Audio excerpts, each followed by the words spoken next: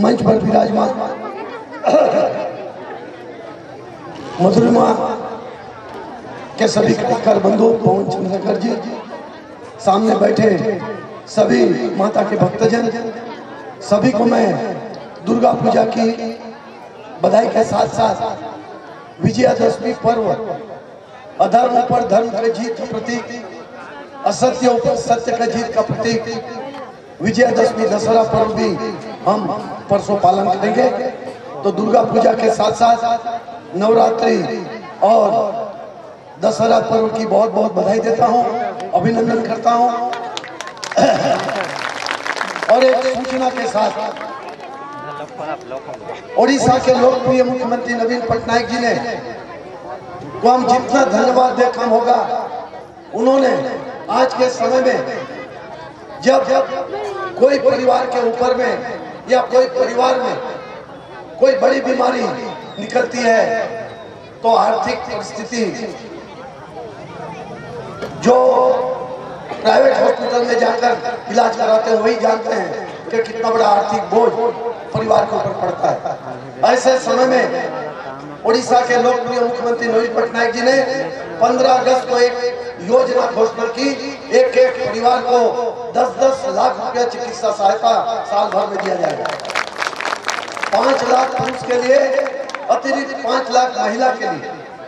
Biju smart card हम बहुत जल्दी 20 तारीख के बाद उड़ीसा के मुख्यमंत्री नवीन पटनायक जी नया पारा आगमन हो रहा है और अपने कर कमलों से वो नया पारा में स्मार्ट कार्ड का बंटन का शुभारंभ करेंगे और हर घर में हम जाकर जिनके पास में राशन कार्ड है, जिनके पास में पुराना बीपीएल कार्ड है, जिनके पास बीजू कृषक कल्याण कार्ड है या अंत्योदय कार्ड है, उन सभी को छियानवे लाख परिवार को हम स्मार्ट कार्ड बंटन करने जा रहे हैं।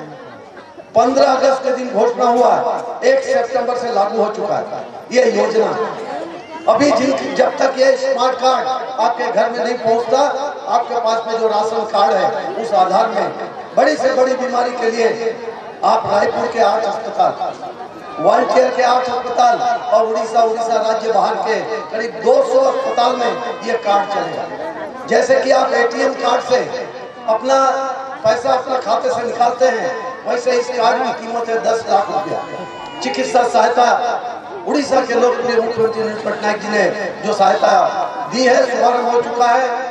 और अभी जब तक ये स्मार्ट कार्ड नहीं मिलता, हमने राशन कार्ड में करीब हमारे कार्यालय से लगभग 50 लोगों को किसी का हार्ट ऑपरेशन, किसका किडनी ऑपरेशन बड़े बड़े ऑपरेशन जो पेशेंट सीरियस थे, उनको रायपुर भेजकर हमने इलाज करवाया और काफ़ी लोग वहाँ से इलाज करके वापस आ चुके हैं और अभी भी रायपुर के MMI Ramakrishna care cancer hospital में भर्ती है।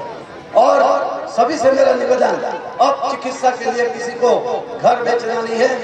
कि खेत भी रखना नहीं है कि माँ का गहना इलाज करके इलाज कराने की आवश्यकता नहीं है। उड़ीसा के मुख्यमंत्री नवीन पटनायक जी ने एक एक परिवार को साल भर में, ये हर साल आप सभी को ये चिकित्सा सहायता मिलेगी।